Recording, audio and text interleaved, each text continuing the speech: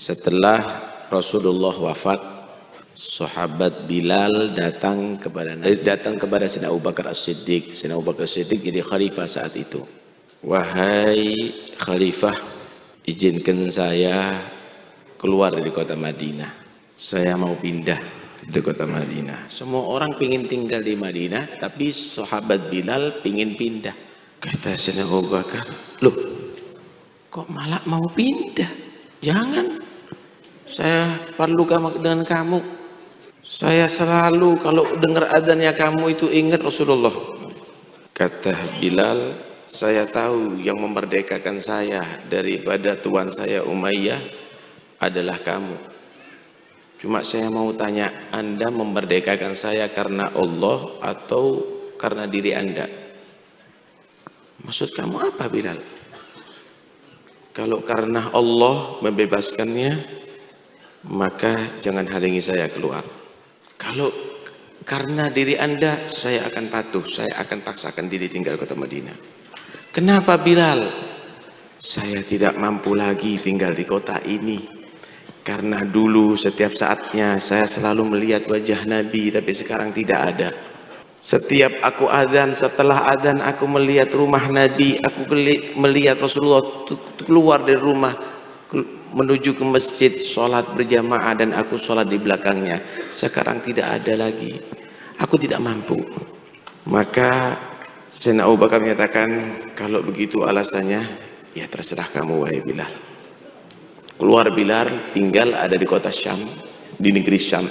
Dapat setahun Bilal mimpi bertemu dengan Rasulullah. Ila mata hadal jafa ya Bilal? Sampai kapan kau menjauh dari aku wahai Bilal Bukankah sekarang saatnya kamu ziarah sama aku? Nangis Bilal. Ditegur sama Rasulullah. Nangis sampai istrinya bangunkan. Bangunkan. Setelah dibangunkan, kata dia, aku harus bersiap-siap untuk berangkat ke kota Madinah. Berangkat Bilal. Sampai di kota Madinah langsung menuju kuburan Nabi. Dicium itu kuburan Rasulullah digelut kuburan itu Rasulullah sama Bilal. Sena Abu Bakar mendapat kabar Bilal datang. Ini khalifah datang ke makam Rasulullah.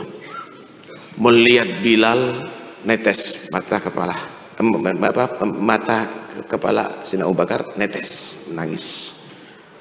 Bilal melihat Sena Abu Bakar langsung memeluk karena Bilal tahu ini orang tidak pernah jauh daripada Nabi. Dan Sayyidina Abu Bakar memeluk, memeluk Bilal erat-erat. Bagaimana mereka saling mengingat saat itu. Zaman yang sangat indah. Kemudian Sayyidina Abu Bakar berkata, Ya Bilal, wahai Bilal, maukah kamu beradhan sekarang untuk mengingatkan kami zamannya Rasulullah Kata Bilal, demi Allah wahai Abu Bakar, semenjak aku keluar kota Madinah belum pernah aku adzan. Karena setiap adzan aku tidak mampu meneruskan setelah asyhadu anna Muhammad Rasulullah. Sina Abu Bakar memahami. Gak lama Sina Umar datang menyusul. Dipeluk itu Bilal dan Bilal memeluk Sina Umar. Setelah itu Sina Umar pun mengatakan, Ya Bilal, maukah kamu adzan untuk kami? Kami ingin mendengarkan lagi suara yang pernah kamu lantunkan adzan di zamannya Nabi. Sayyidina Bilal menyatakan, baru Sayyidina Abu Bakar minta dengan aku. Dengan permintaan yang sama. Dan aku jawab dengan jawaban yang sama. Aku tidak mampu lagi adzan. Datang. Dua anak kecil. Sayyidina Hasan dan Sayyidina Husain. Melihat Sayyidina Hasan, Sayyidina Husain.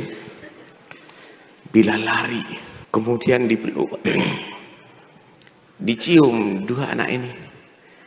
Mengingat datuknya Rasulullah SAW kemudian dengan polosnya Sayyidina Hasan Sayyidina Hasan menyatakan Bilal ingin dengerin azan kamu.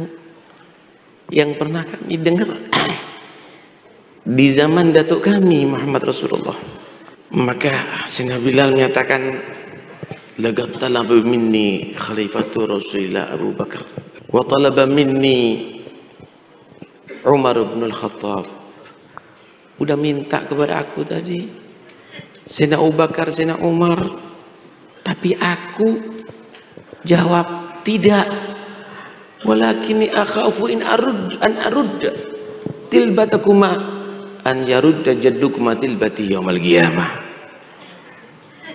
tapi untuk sekarang aku khawatir kalau aku tidak mengabulkan permintaan kalian berdua datuk kalian berdua akan menolak permintaanku nanti di hari kiamat. Al-anu ad-din. Sekarang aku adan naik di atas menara Bilal.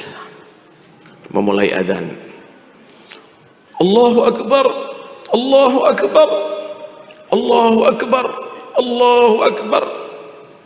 Itu penduduk Madinah menjerit semuanya. Mengingat suara ini pernah setahun yang lalu didengarkan di zaman orang yang paling mereka cintai Rasulullah. Hayyun Rasulullah Abu Ita Rasulullah min mereka sambil menyatakan apakah hidup Nabi? Tidak lagi Nabi. Mereka semuanya menyatakan Rasulullah hidup kembali Rasulullah bangkit ditinggal semua kesibukannya. Pasar, toko, jual belinya ditinggal. Menuju ke masjid. Asyhadu an la ilaha illallah. Asyhadu an la ilaha illallah. Itu perempuan semuanya menjerit. Rasulullah hidup Rasulullah hidup. Mereka keluar semuanya dari rumah. Berlarian ke masjid sampai asyhadu anna Muhammad Rasulullah Bilal menangis tidak meneruskan lagi terjadi tangisan yang luar biasa saat itu yang belum pernah terjadi lebih banyak tangisan setelah menangis para sahabat ketika meninggalnya Rasulullah.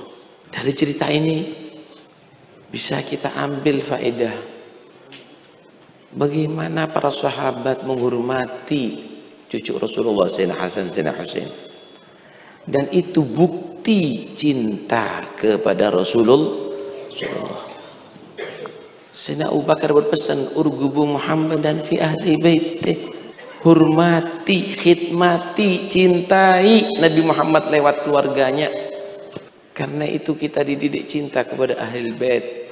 Mudah-mudahan mereka yang sekarang lagi mencaci beri hidayat sama Allah. Kalau mereka orang muslim karena mereka lagi kena fitnah saudara yang kedua Bagaimana perasaan sahabat ketika wafatnya Nabi? Ada nggak mampu lagi ditinggal kota Madinah? Begitu cintanya kepada Rasulullah. Karena yang mereka cintai utama adalah Nabi Muhammad. Mereka siap berkorban semuanya untuk Rasulullah. Yang ketiga, bagaimana satu sama lain mereka saling menghormati, nggak ada permusuhan, saling menghargai. Subhanallah. Seorang khalifah merangkul mantan budak Sayyidina Bilal. Nggak malu Sayyidina Abu Bakar. Padahal beliau menjadi khalifah saat itu. Yang berikutnya saudara kalau anda kepingin menjadi orang yang beruntung jadilah orang yang rindu dengan Nabi. Para sahabat selalu rindu dengan Rasulullah mendengarkan adzan ingat Nabi. Ingat masa-masa yang leb yang sangat istimewa yaitu hidup bersama Rasulullah sallallahu alaihi wasallam